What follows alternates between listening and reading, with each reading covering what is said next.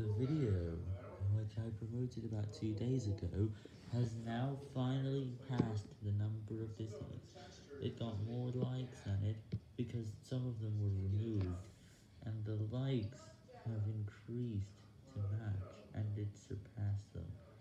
It means the video is good, and it.